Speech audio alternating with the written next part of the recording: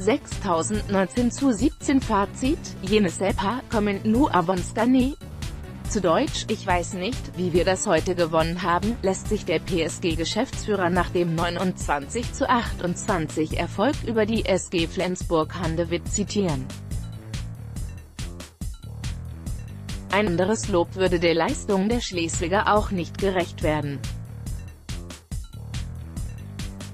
Denn die hatten den Bullen, diesen haushohen Favoriten aus der französischen Hauptstadt, fast so weit, dass es für einen Sieg oder zumindest einen Punktgewinn reicht. Bereits im ersten Durchgang agierten die Gäste auf Augenhöhe und stellte trotz gegnerischen Anwurfs früh auf 3 zu 1. Letztlich schüttelte das Team von Mike Machulla seinen Gegner aber zu keinem Zeitpunkt ab. Paris erspielte sich immer mal wieder 3 zu 0 Läufe im Laufe des Spiels und stellte somit auch nach einer Viertelstunde auf 6 zu 6.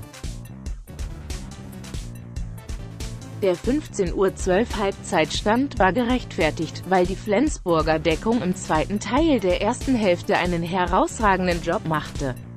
Nach dem Seitenwechsel verpassten die Weißen es davon zu ziehen und so kam Paris in Person von Henrik Toft Hansen zum 25 zu 25. In der Folge war es spitz auf Knopf, alles war möglich. Natürlich auch ein Sieg für Flensburg, dessen Simon Jepsen jedoch im entscheidenden Moment eine große Chance ausließ. Stattdessen sammelte sich PSG nochmal beim Spielstand von 28 zu 28 und spielte dann seinen letzten Angriff erfolgreich aus. Somit bleibt der französische Spitzenklub ungeschlagen und Flensberg reist ernüchtert zurück in die Heimat. Am Mittwoch LED der deutsche Meister Paris dann zum Rückspiel ein.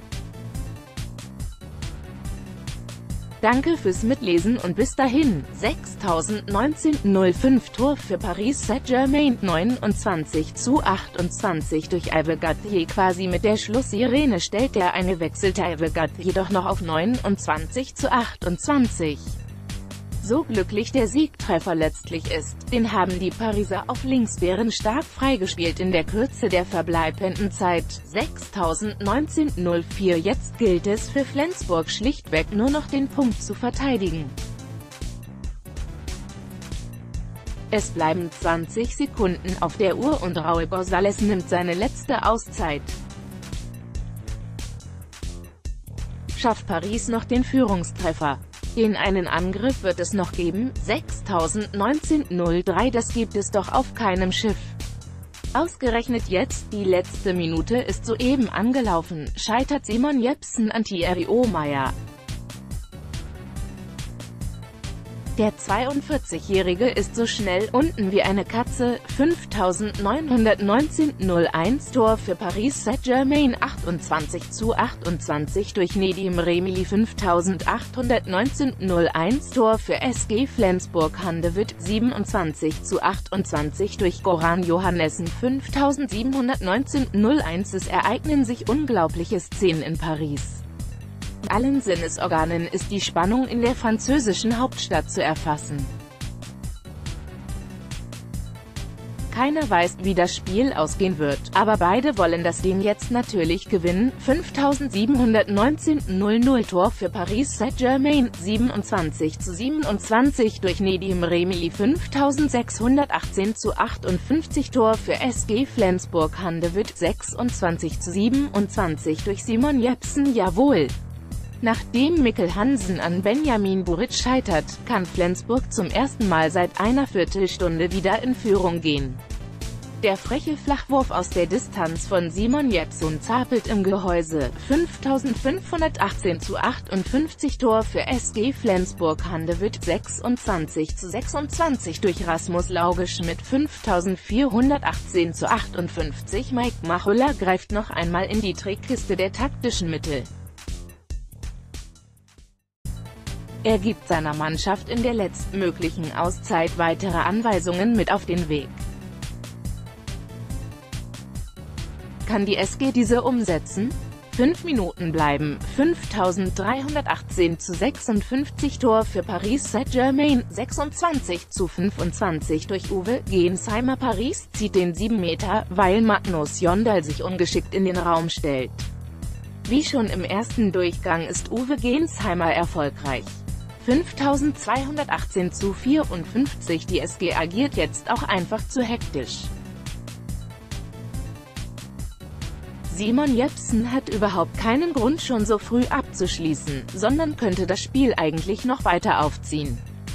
Stattdessen scheitert er beim Wurfversuch an Thierry Omeyer, 5118 zu 53 Tor für Paris Saint-Germain, 25 zu 25 durch Henrik Toft Hansen Nachdem beide Teams sich zunächst zweimal nicht auszeichnen, setzt der eine wechselte Henrik Toft Hansen den torlosen Minuten ein Ende. Ausgerechnet der Ex-Flensburger macht hier den Ausgleich, 5118 zu 53 Nachdem beide Teams sich zunächst zweimal nicht auszeichnen, setzt der eine wechselte Henrik Toft Hansen den torlosen Minuten ein Ende. Ausgerechnet der Ex-Flensburger macht hier den Ausgleich, 4918 zu 51 Tor für Paris Saint-Germain, 24.25 Uhr durch Mikkel Hansen Das ist bitter für die SG. Holger Glandorf scheitert an der Fußabwehr vom immer besser werdenden Sadu Entanzi. Auf der Gegenseite markiert Mikkel Hansen den Anschluss aus dem linken Rückraum, 4918 zu 49 Tor für Paris Saint-Germain, 23.25 Uhr durch Mikkel Hansen. Die Blauen lassen sich in dieser Phase des Spiels einfach nicht abschütteln. Kim Ek-Daidoritz bedient Mikkel Hansen mit einem langen Ball und der haut das Leder in die Maschen. 4818 zu 48 Tor für SG Flensburg-Handewitt, 22.25 Uhr durch Rasmus Laugisch mit 4718 zu 47 Tor für Paris Saint-Germain, 22.24 Uhr durch Benoit Kuhnkaut 4618 zu 45 Tor für Paris Saint-Germain, 21.24 Uhr durch Benoit Kuhnkaut 4518 zu 45 Selten sieht man, dass eine Auszeit Zeit so fruchtet wie die von Mike Machulla eben. Raul González erhofft sich einen ähnlichen Erfolg und winkt eine Viertelstunde vor dem Ende ebenfalls mit der grünen Karte, 4518 zu 44 Tor für SG Flensburg-Handewitt, 20.24 Uhr durch Holger Glandorf. Die SG kommt in Person von Holger Glandorf entschlossen über die rechte Seite. Der Routinier täuscht einmal den Wurf an und bringt damit Thierry Omeyer zum Flug in die Ecke. Schließlich jagt er das Ding aus 9 Metern halbrechter Position in die andere.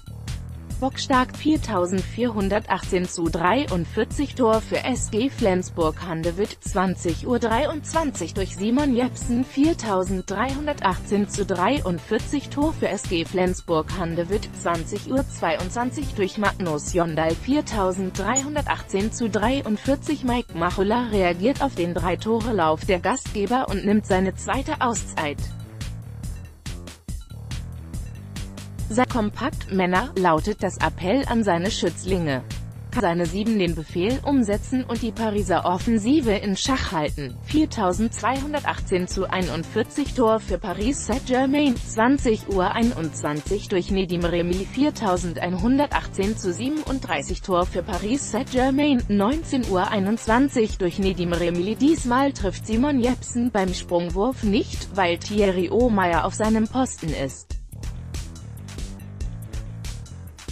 Flensburg sorgt durch eine schnelle Rückwärtsbewegung zwar dafür, dass Paris den Gegenstoß verschleppt, aber PSG findet letztlich doch noch Nedim Remili, der die harzige Pille ins Netz wuchtet, 4018 zu 37 Tor für Paris Saint-Germain, 18 Uhr 21 durch Benoit Kuhnkaut 3918 zu 37 Tor für SG Flensburg-Handewitt 17 Uhr 21 durch Simon Jepsen 3918 zu 36 Tor für Paris Saint-Germain. 17 Uhr 20 durch Sander Sargosen 3818 zu 36 Die Gäste geben sich auch im zweiten Durchgang überhaupt keine Blöße. Schwinden die Kräfte gegen das Star-Ensemble noch oder kann die SG auch in den Schlussminuten an seine bisherige Leistung anknüpfen?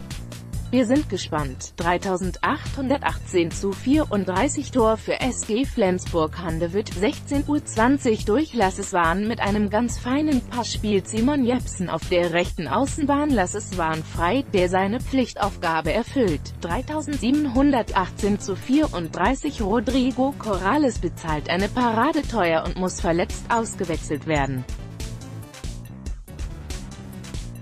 Für ihn kommt nun Thierry Omeyer auf die Platte.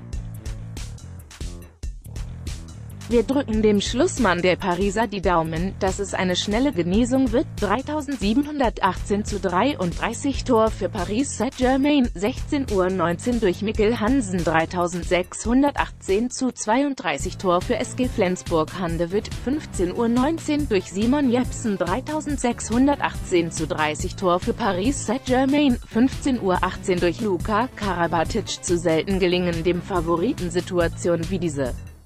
Hier findet der Gruppenprimus Luka Karabatic am Kreis, der nach einer schnellen Drehung rechts unten einwirft. 3518 zu 29 Tor für SG Flensburg-Handewitt 14.18 Uhr durch Simon Hall. Die deutsche Vertretung bleibt im Gegenstoß gnadenlos.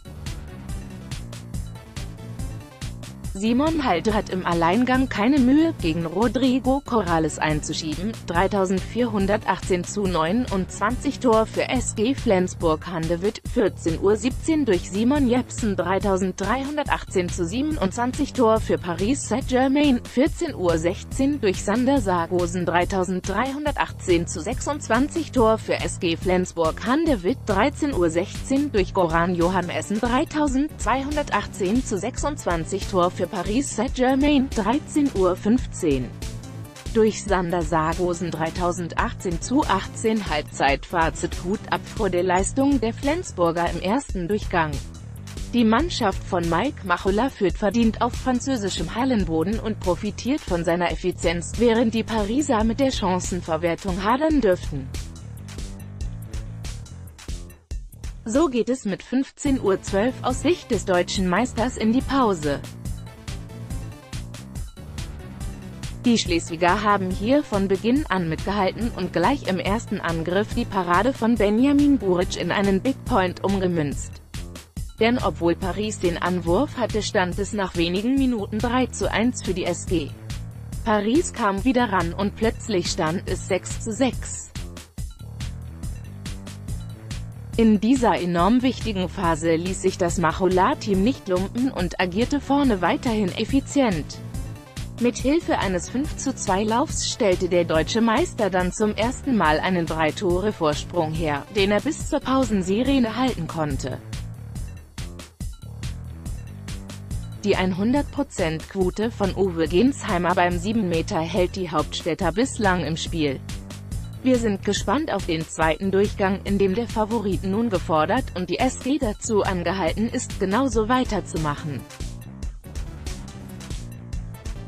Bis gleich 3018 zu 10 Weil Kim Ekdal-Doritz am Gebölk scheitert, hat die SG jetzt sogar die Chance, noch vor der Pause auf 4 vorzustellen. Das musste ihr Anspruch sein 40 Sekunden vor dem Ende. 2918 09 Tor für SG Flensburg-Handewitt, 12.15 Uhr durch Goran Johannessen und die klappen heute einfach. Mit seinem dritten Treffer aus dem Hinterhalt hält Goran Johannessen die Pariser weiter. Auf Distanz, 2818, 08 Tor für Paris Saint-Germain, 12.14 Uhr durch Uwe Gensheimer 2818, 08 Tor für SG Flensburg-Handewitt, 11.14 Uhr durch Magnus Jondal 2718, 07 2 Minuten für Nedim Remili Paris Saint-Germain. Nedim Remili sorgt mit seinem Einsteigen für numerische Gleichzahl. Auch er wird progressiv bestraft vom österreichischen Schiedsrichtergespann. 2718 06 Tor für Paris Saint-Germain, 11.13 Uhr durch Uwe Gensheimer 2618 06 2 Minuten für Lasses Wahn, SG Flensburg-Handewitt. Lasses Wahn hält Sander Sargosen am Wurfarm und verhindert somit eine klare Torchance. Es gibt die nächste 2-Minuten-Strafe, 2618, 04 Tor für SG Flensburg-Handewitt, 10.13 Uhr durch Goran Johannessen Flensburg findet auch in Unterzahl seine Lücken. Goran Johannessen überspringt die Deckung der Hauptstädter und jagt die harzige Pille schließlich in den linken Giebel. 2518 03 Tor für SG Flensburg-Handewitt, 10.12 Uhr durch Holger Glandorf. 2418 02 2 Minuten für Rasmus Laugeschmidt SG Flensburg-Handewitt. Beim Versuch Nedim Remili vom Tor abzuhalten, weiß sich Rasmus Laugeschmidt nur mit unfairen Mitteln zu helfen. Es gibt die Zeitstrafe, 2318, 02 Tor für Paris Saint-Germain, 10.11 Uhr durch Nedim Remili 2318, 00 Mike Machola nimmt seine Auszeit zu einem denkbar günstigen Zeitpunkt. Denn damit unterbindet der Flensburger Übungsleiter den Gegenstoß der Franzosen, die so gut wie in Ballbesitz waren. Er gibt seiner Mannschaft konkrete Spielzüge für die nächsten Minuten mit auf den Weg. 2217 zu 58 Tor für Paris Saint-Germain, 9.11 Uhr durch Luc Abalo Goran Johannessen scheitert am rechten Pfosten und die Hausherren dürfen wieder einen Angriff aufziehen. Dabei ist Luc Abalo auf der rechten Seite völlig frei und sticht schließlich im Zuge einer dynamischen Sprungbewegung, 2117 zu 56 Tor für SG Flensburg-Handewitt, 8.11 Uhr durch Simon Jepsen Simon Jepsen trifft schon wieder aus der zweiten Reihe. Mit seinem Wurf aus knapp 11 Metern befördert er Rodrigo Corrales beinahe mit ins Netz 2017 zu 56 Bitter für PSG.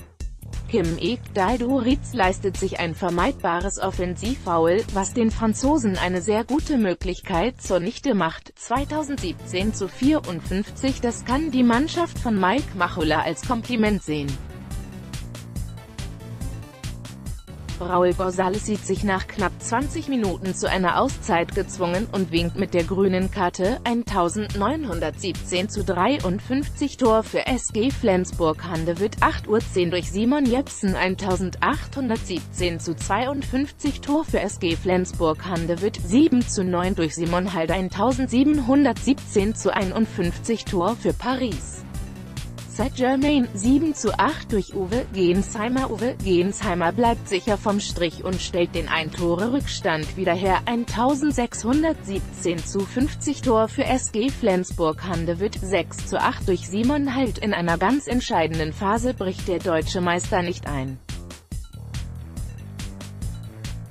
Stattdessen finden die Weißen Simon Halt, der die Kugel von links außen in die Maschen drückt, 1517 zu 50 Tor für SG Flensburg-Handewitt, 6 zu 7 durch Holger Glandorf 1417 zu 49 Tor für Paris Saint-Germain, 6 zu 6 durch Uwe Gensheimer Uwe Gensheimer bleibt vom Strich ganz eiskalt.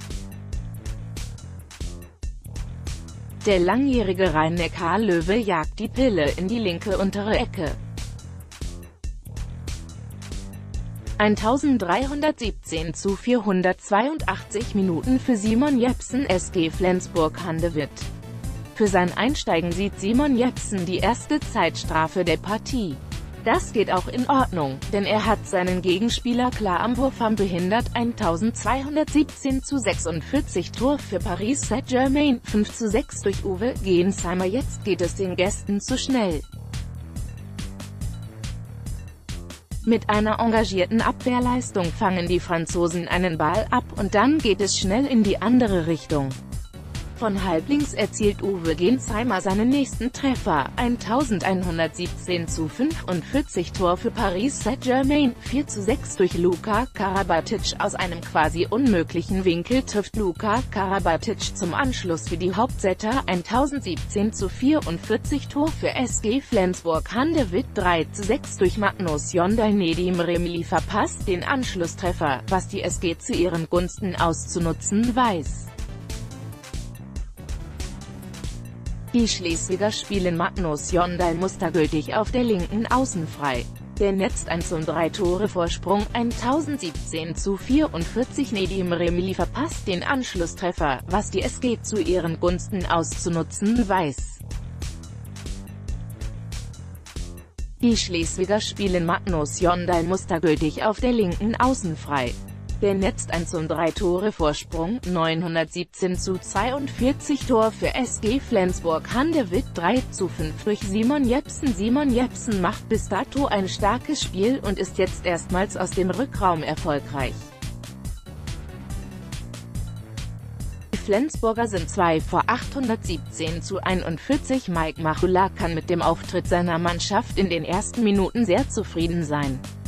Die Deckung hält die Pariser Staroffensive bislang gut in Schach, 717 zu 39 Tor für Paris Saint-Germain, 3 zu 4 durch Uwe Gensheimer. 617 zu 39 Tor für SG Flensburg. Handewitt, 2 zu 4 durch Holger Glandorf. 517 zu 39 Tor für Paris Saint-Germain, 2 zu 3 durch Uwe Gensheimer. 417 zu 38 Tor für SG Flensburg. Handewitt, 1 zu 3 durch Holger Glandorf. 317 18 zu 38 Tor für SG Flensburg-Handewitt 1 zu 2 durch Anders Zach Ariassen 317 zu 35 Tor für Paris Saint-Germain 1 zu 1 durch Nedim Remy 217 zu 33 gelbe Karte für Simon Halt. SG Flensburg-Handewitt 217 zu 33 Tor für SG Flensburg-Handewitt 0 zu 1 durch Anders Zach Ariassen Beide Mannschaften lassen zu Beginn des Spiels jeweils eine gute Chance liegen. Schließlich können die Gäste den Gegenstoß setzen, welchen Anders Zachariassen per Aufsetzer verwandelt. 17.26 Uhr Eine so deutliche Niederlage will die in der Liga noch ungeschlagene SG natürlich vermeiden. Der Antwort auf die Frage, ob dieses Vorhaben gelingt, gehen wir schon in wenigen Minuten auf den Grund, denn die Protagonisten verlassen in diesem Moment die Katakomben und betreten die Platte. Bevor es losgeht, werden die Zuschauer jedoch noch von den Klängen der Wettbewerbshymne verzaubert. 17.20 Uhr Das Schiedsrichtergespann im französisch-deutschen Kräftemessen stammt aus Österreich. Radoj Kobrikic und Andrei Yusuf Hocic werden das Duell, welches in seine elfte Runde geht, an der Pfeife begleiten.